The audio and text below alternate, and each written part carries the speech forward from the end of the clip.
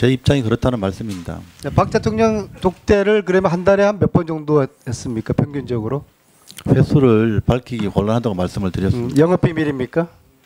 국민들이 그걸 알고 싶어 하는데요. 뭐 절대로 말씀해 줄 수 없나요? 의원님이 생각하듯이 그렇게 자주는 아닙니다. 예. 일주일에 한 번씩은 만났죠.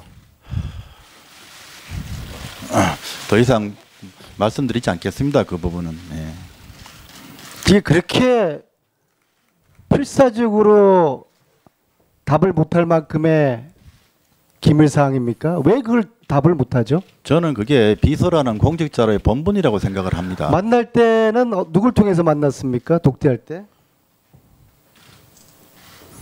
뭐 저기 어, 그 주변에서 관저나 뭐 부속 비서관실이나 주변에서 오라고 하면 갔습니다. 정호성 비서관입니까? 의원님 그거 더 이상 밝히고 싶지 않습니다. 그럼 여기 뭐하러 나왔어요? 집에 가세요. 공직자로서의 또 다시 그 도망 다니세요. 아, 지켜야 될 본분이라고 현상금도 걸 생각합니다. 테니까 여기 뭐하러 나와 계셔요? 매주 일요일 날 저녁에 최순실이가 청와대 들어온 건 알고 계셨어요? 모릅니다. 아니 민주수석이 아는 게 뭐예요?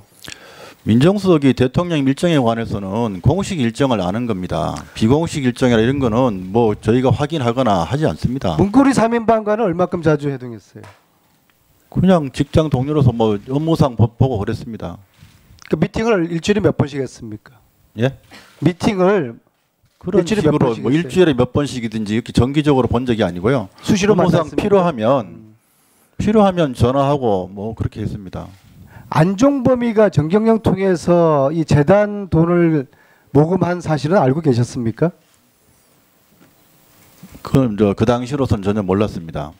아니 도대체 민정수석이 그럼 뭘 한 겁니까?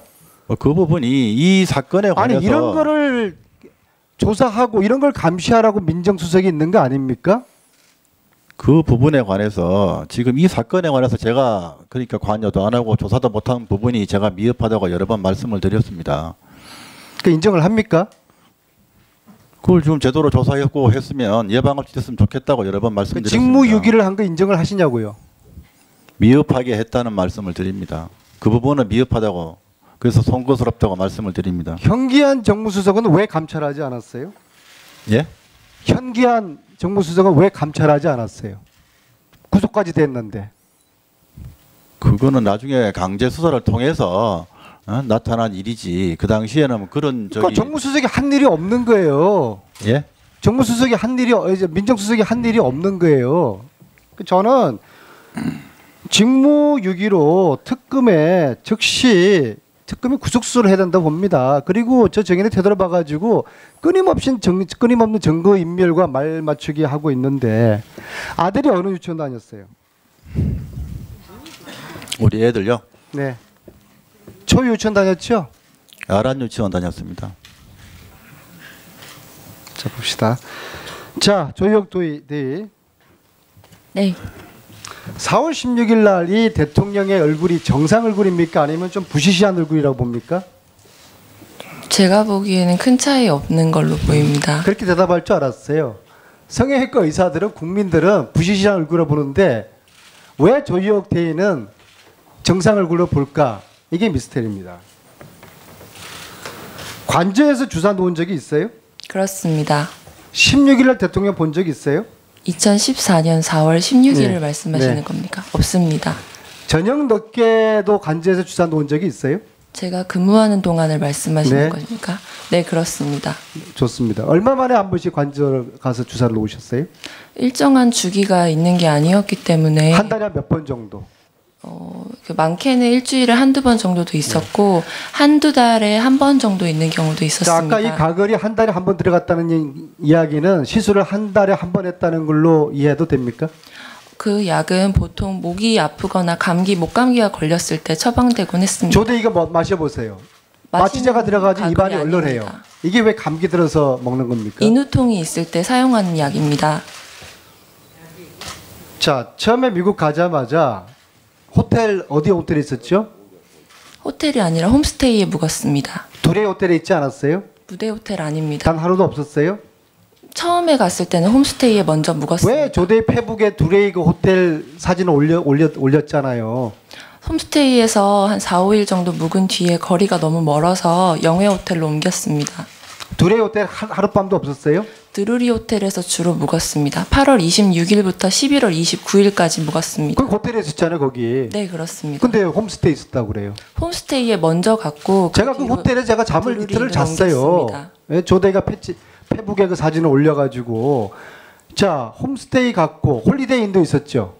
없었습니다. 자 적어도 두레이 호텔하고 홈스테이하고 영내하고 지금 다섯 달 동안에 세 번을 옮겼죠. 이사를 두 번 했습니다. 그러니까 호텔까지 한 거면은 세 번 세 세번 옮긴 거 아닙니까? 네, 뭐, 묵었던 같이 세 같이.